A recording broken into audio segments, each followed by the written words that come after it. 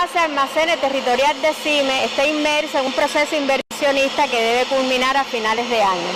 Con el objetivo de viabilizar el proceso logístico de las tiendas virtuales, se decidió agilizar la terminación de la nave 1 que debe ser en los finales del mes de mayo para poderla convertir en una tienda virtual y poder aprovechar eh, la capacidad de almacenamiento con que cuenta la nave.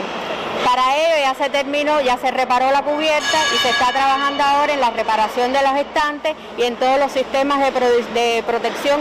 eh, contra incendio, contra intrusos, sistema de CCTV. Otra de las actividades que estamos realizando es la reparación de las oficinas, eh, el sistema de ventilación y extracción,